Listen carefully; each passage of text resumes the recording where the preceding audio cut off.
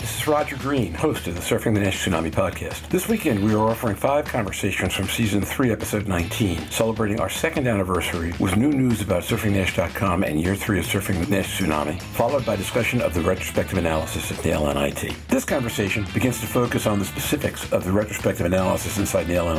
First, Naim Alkhouri and Jörn Schattenberg explain that the data for the retrospective analysis will come from, as Naim puts it, five, six, even 10 clinical trials, three phase threes and a bunch of phase twos, done previously by drug developers. They then go on to describe some of the analyses that become feasible with this kind of data set. Project leader Mazen Noureddin then asks Naim and Jörn to describe what he terms their, quote, passionate first projects, end quote. After they describe their projects, Naim discusses the phrase intellectual yet idiot from Nassim Taleb's book Skin in the Game to describe some of the ways that seemingly intelligently designed NAS metrics actually defeat the purpose of properly identifying which patients are improving in clinical trials. This leads me to raise the issue again of the problems inherent in using qualitative patient assessment method as a quantitative tool for determining whether a developmental drug is efficacious and the problems this has caused. Mazen closes the conversation by noting that opening clinical trial recruitment to patients who will not accept biopsy will be key in the coming years to have large enough patient pool to conduct all the trials we'll need as we seek to validate many new modes of action and combination therapies. It is really exciting to hear Stephen,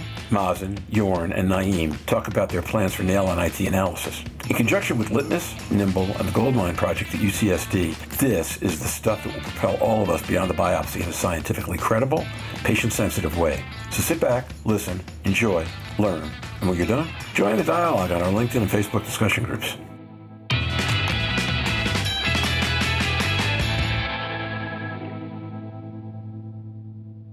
So, what exactly, your Naim, is the work that you're doing and the leadership role going to look like? And what are some of the things that you'll be going after? Naim Alkhouri. As part of the clinical trials that we have been doing for the past few years, there's a, a lot of data that was generated uh, that can answer many relevant questions. The problem is we operate sometimes in silos, and pharma companies are overprotective over the data for good reasons. But now we are seeing this potential to actually combine data from different pharma companies to answer the relevant questions to all of us. So one thing is, as Mazen said, all the NITs that are being done in clinical trials, can we combine data from um, five, six, ten clinical trials and look at them and see how they perform in comparison to liver biopsy, but also in comparison to each other and some of the scores that we've developed? Can we also look at the placebo response rate in different trials and try to get a deeper understanding at what's causing this variability, which can really sometimes kill your trial if you end up with a high placebo response rate. Can we look at NASH cirrhosis trials and see what are the reasons for screen failures in these uh, specific trials? Stephen has done a lot of work looking at reasons for screen failures in the non-cirrhotic NASH trials, uh, but there is this unmet need to look specifically at NASH cirrhosis. So we have now this database and the willingness from different pharmaceutical companies to combine their data and try to answer some of these questions. We want to do this retrospectively first, but then of course, you know, we want to do it prospectively and get to a point where we actually can design trials without the need for liver biopsy. Jörn Schattenberg. Right on, Naaman. He said it perfectly. There's so much data in the field and it's not being analyzed with the same rigorousness from the same perspective or the same angle. That's where the power of NAIL NIT, in particular, starting out with the retrospective part here, comes in. Pulling together the baseline biopsies of these three, let's say, three phase three trials we're getting the data from, and then additional phase two data trials and looking at differences, comparing this with placebo response rates, I think this will be crucially informing us uh, moving forward. Mazen Noureddin. Ro- Roger,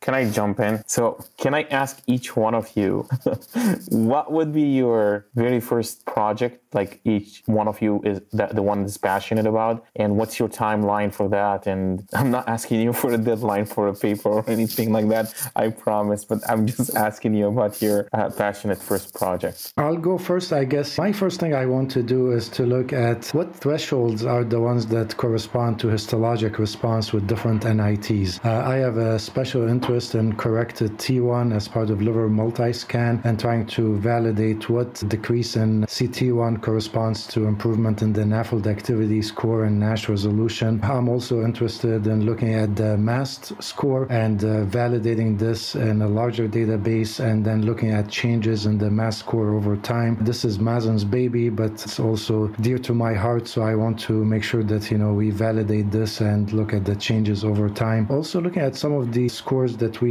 generate with FibroScan, examples are Agile 3 plus, Agile 4, and looking at longitudinal changes over time and seeing if we can use them as a way to also monitor response. Very ambitious, Naim. Great projects. Stephen Harrison. I think I think you did a great job answering your, your, your question, Mazen. For somebody that's got two baby girls, Mast is too bold to be a girl. It's a boy. So now you have a baby boy named Mast that uh, Naim is going to help bring into adulthood.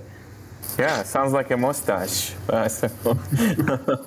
Mazen, before Jörn answers your question, I want you to know that between some of the questions that I hear Jörn ask from time to time, the questions you're asking, I can go on vacation now. I'm not taking over it, Roger. I promise. I'm gonna give it. I'm gonna give it back, back to you. But I'm starting the projects on this broadcast.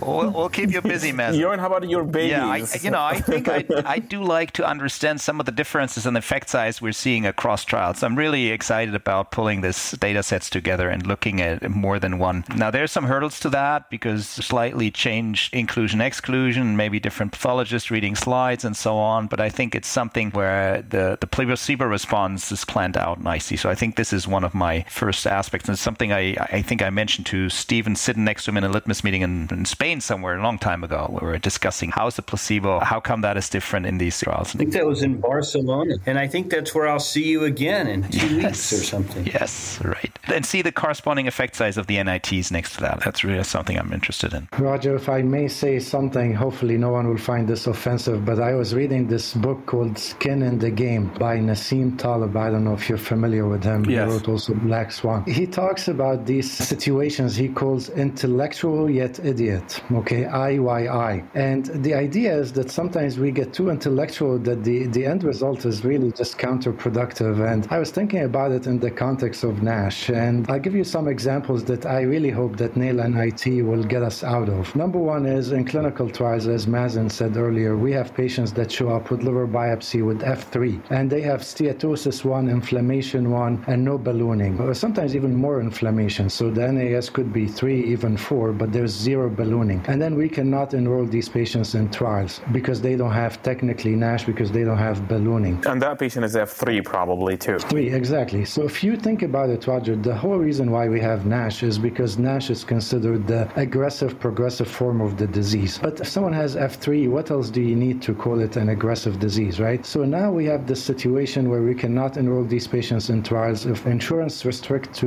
you know, trials and meeting the criteria for the phase three, how can you include these patients? Do we need to do now investigator initiated studies and include these patients in a separate uh, trial and then not allow ballooning? It just doesn't make any sense. So I think this is one situation that NITs will help us move past and just never have to worry about ballooning on a biopsy. The second scenario is the whole NASH resolution and the requirement of ballooning zero. It, it just doesn't make any sense to take someone with, let's say, S2, ballooning 1, inflammation 1, and if they go to S1, ballooning 0, and inflammation 1, now we call it NASH resolution, and this is a great outcome, as opposed to someone starting with NAS of 8, let's say S3, ballooning 2, inflammation 3, if they go to S1, ballooning 1, and zero inflammation, we cannot call it NASH resolution. I think patient 2 improved much more than patient 1. And patient 1 could have been just, you know, pathologist variation and saying there's ballooning or not. So this is another scenario that we made it so complicated, it just doesn't make any sense. And we sometimes talk too much about evidence base and we need the data and this and that, but I don't underestimate the power of just thinking about the scenarios and saying, okay, whatever we have is just not helping us answer these scenarios, and we need to use a more logical and rational approach. I think the data that will be generated in NAIL NIT will, will help us get out of these IYI situations. Naim, that's great. And I want to thank you for teaching me one important thought about all this. And then I've got a question for you guys based on kind of my background. Uh, the thought is Naim pointing out that we've made these rules based on no data or no realistic data, but that you need tons of data to turn them over, which would strike me as a, extraordinarily good example of IYI thinking. I mean, there was an episode where you were talking about things that we've done that were proved and accepted that were never proven, but now you have to disprove them to get away from them, and the data never existed to do that in the first place. At one point, you said we had better data on a lot of NITs right now than we had on biopsy when biopsy was accepted the way it was as a standard, if I recall your statement correctly. I think it's important for us to keep in mind how a lot of this stuff came about. And we talked about this a couple of weeks ago when we had uh, the balloon hepatocyte episode. In the context of semi quantitative and quantitative, it feels to me from the outside it happened as the ways back. People looked at things that made sense when treating individual patients, turned them into rules for larger patient populations. And the statistically, the rules didn't make any sense. And logically, they didn't make sense across a cohort of people, even if they made sense for individuals. And I think the examples you gave are a couple of those. When we go from semi quantitative to quantitative by making greater use of AI, we're eliminating one source of error, but it still isn't clear that we're looking at the right targets because very smart people talking to each other can talk themselves into lots of things that don't make sense. What kinds of effort will you be able to make retrospectively to question whether these are actually the right targets in the first place? For example, using your